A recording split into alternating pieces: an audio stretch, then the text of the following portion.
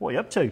Making a quick waterproof joint for this tough sheath cable, Gary. Okay, that's the Ergo stripper from Knipex. Do Yeah, like that. Just removing the outer sheath.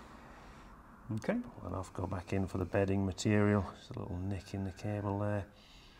You'll be telling me next you'll be able to strip the inner conductor insulation off. Strip the inner conductors here, match it to the right conductor size, 1.5 millimetre squared.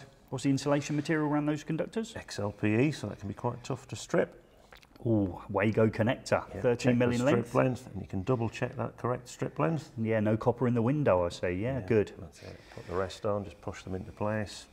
Nice. Prepared. Bring in our Wago gel box. Okay, so this is going to make it a waterproof end, is it? Yeah, X, IPX8. Okay, lovely.